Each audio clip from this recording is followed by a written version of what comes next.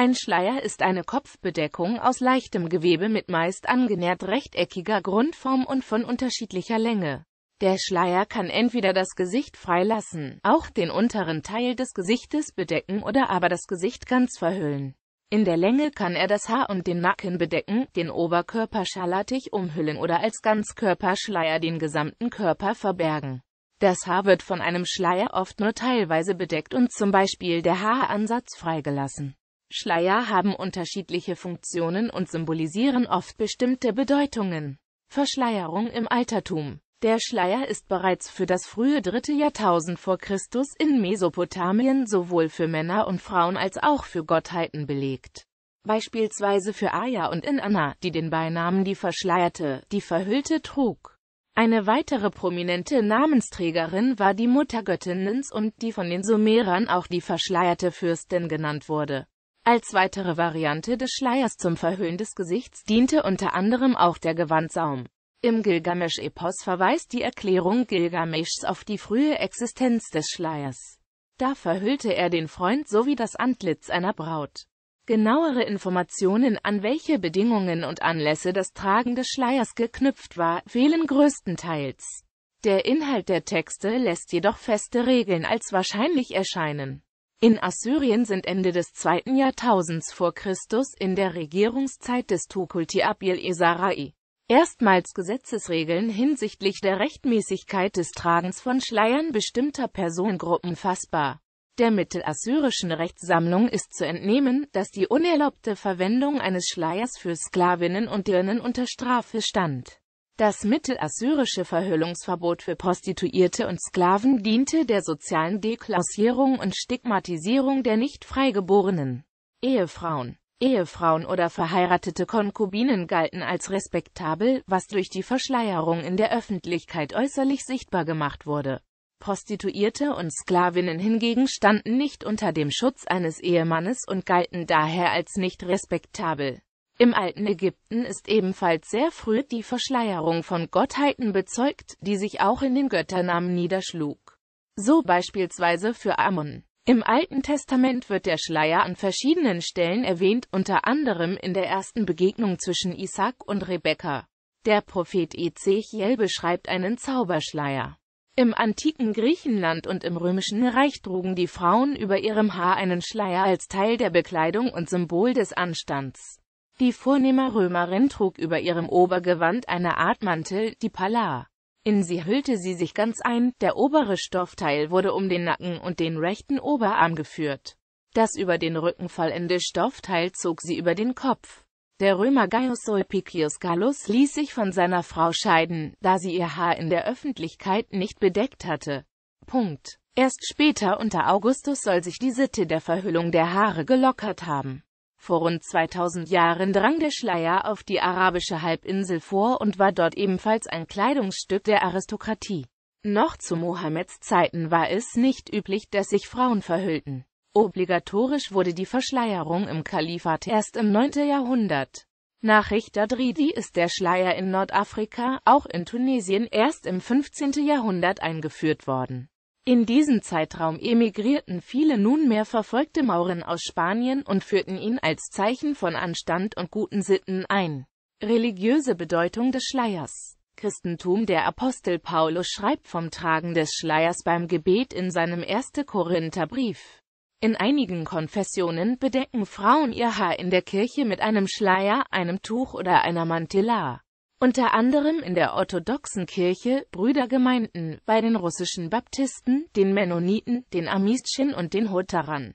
Zum Teil wird diese Schriftstelle des Paulus verbunden mit dem 1. Thessalonischer Brief so ausgelegt, dass die Frauen in diesen Gemeinschaften immer einen Schleier, ein Tuch oder ein Häubchen tragen.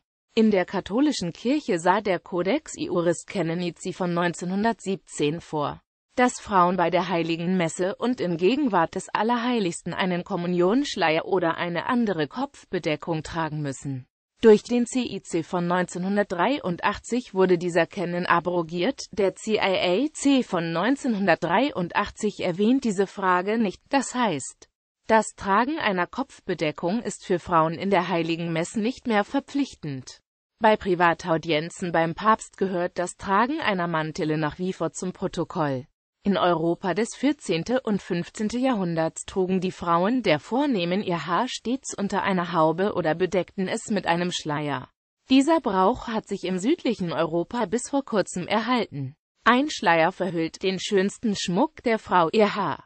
Von daher wird mit dem Anlegen des Schleiers ein Stück weit die Eitelkeit abgelegt, zumindest sinnbildlich. Das Tragen des Brautschleiers bei der Trauung wird heute nur noch als Brauchtum verstanden. Weitgehend erhalten hat sich der Schleier in seiner antiken Symbolik der Bindung einer Frau durch Ehe oder Gelübde bei einigen Formen der Vita Consecrate im Ordensleben und bei den geweihten Jungfrauen, wo der Schleier zur Jungfrauenweihe bzw. als Teil des Habits zur Einkleidung verliehen wird. Über Jahrhunderte war die Redewendung den Schleier nehmen gleichbedeutend mit der Wahl einer gottgeweihten Lebensform durch eine Frau. Später wurde sie zum Synonym für den Eintritt einer Frau ins Kloster. In den Ostkirchen tragen teilweise auch Mönche einen Schleier. In der südspanischen Provinz Cádiz war bis zur Machtergreifung Francos im spanischen Bürgerkrieg die fast vollständige Verschleierung von Frauen üblich. An diese Tracht, die nur ein Auge frei ließ, erinnert heute noch das Denkmal La Cobiada in Vejer de la Frontera. Islam Im Islam gibt es im Koran Kleidungsvorschriften, die allerdings unterschiedlich ausgelegt werden. Zu beachten ist dabei vor allem, dass der Begriff Schleier respektive Verschleierung keinen fest definierten Inhalt hat. Teilweise wird darunter nur die Bedeckung des Haares verstanden, teilweise eine vollständige Verhüllung des Körpers. Die hierfür verwendeten, aus der arabischen Sprache stammenden Begriffe haben oft keine deutsche Entsprechung. Der Schleier gehört zu den Bestandteilen der von Muslimen getragenen Kleidung. So sollen nach einer häufig anzutreffenden Interpretation Frauen und Mädchen den Hijab ab dem Beginn der Pubertät tragen. Für Männer gibt es andere Formen, besonders auffällig bei den Tuareg. Zu unterscheiden sind der Gesichts-, der Kopf- und der Ganzkörperschleier. Der Halb- oder Mundschleier bedeckt die untere Gesichtshälfte. Und der Nikab ist ein das gesamte Gesicht mit Ausnahme der Augen verhüllender Vollschleier. Der Koran enthält mehrere Stellen, die Informationen über die Bekleidung von Frauen beinhalten. Schur 24 An-Nur, das Licht Vers 31. Schur 33 Al-Azab, die Gruppen Vers 59. Bei den folgenden manchmal zitierten Stellen ist jedoch ein Bezug auf eine Bekleidungsvorschrift für Frauen stark zweifelhaft, Schuhe 7 Allah RAFD Höhenvers 27. Es gibt auch zahlreiche Hadith, die etwas über die Kleidung der Frauen aussagen. Beispielsweise in einem Hadith aus dem Fa'al el-Bari, Aya, die Frau des Propheten. Bei Allah, niemals sah ich bessere Frauen oder stärkere in der Befolgung des Buches Allahs als die Frauen der Ansar. Als Surat an-Nur herabgesandt wurde. Und dass sie ihre Tücher um ihre Kleidungsausschnitte schlagen gingen ihre Männer nach Hause und berichteten ihnen, was Allah offenbart hatte. Jeder zitierte den Vers vor seiner Frau, seiner Tochter, Schwester und den Verwandten.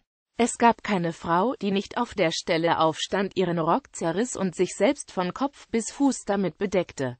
Am nächsten Tag beteten sie von Kopf bis Fuß bedeckt das Fajr-Gebet. Die große Mehrheit der Rechtsgelehrten im Scharia-Islam befürwortet daher die Bedeckung des Haupthaars. Es wird auch daraus abgeleitet, dass die Frauen sich mit einem Hijab genannten Ganzkörperschleier bedecken sollen. In einigen islamischen Ländern ist das Tragen des Schleiers gesetzlich vorgeschrieben, etwa in Saudi-Arabien oder noch vor einigen Jahren im Iran.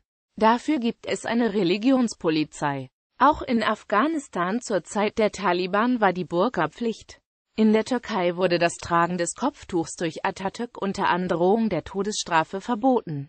Obwohl dieses Verbot auf großen Widerstand der weiblichen Bevölkerung stieß für viele Frauen war dies gleichbedeutend mit Nacktheit, widersetzten sich, besonders in ländlichen Gebieten und erst nach dem Tod Atatürks, viele dieser Anordnung. In türkischen öffentlichen Einrichtungen wie Schulen und Universitäten ist das Kopftuchverbot seit einiger Zeit wieder aufgehoben worden. Im Parlament und im Fernsehen darf aber weiterhin kein Kopftuch getragen werden und auf amtlichen Urkunden, wie Z. B. auf Ausweisen, dürfen nur Fotos ohne jegliche Kopfbedeckung verwendet werden. In einigen Bundesländern Deutschlands ist Lehrkräften an staatlichen Schulen das offene Tragen von religiöser Bekleidung bzw. Symbolen verboten, wozu auch Kopftuch bzw. Schleier gehören. McGinty zufolge zeigten Studien, dass das Tragen eines Schleiers eine wichtige Rolle bei der Konversion von Frauen zum Islam spiele. Die Verschleierung markiere im Konversionsprozess die Herausbildung einer neuen muslimischen Identität sowie die Übernahme der spezifisch islamischen Vorstellungen über Geschlechterbeziehungen und Sittsamkeit. Weitere Formen des Schleiers ein Trauerschleier wird von Witwen und verwaisten Töchtern getragen, um die Trauer über den Verlust eines Menschen zum Ausdruck zu bringen. Aber auch um die eigenen Emotionen nicht allzu offen zu zeigen. Der mit dem Hut verbundene Halbschleier war ein modisches Attribut gehobener Damenbekleidung bis in die erste Hälfte des 20. Jahrhunderts.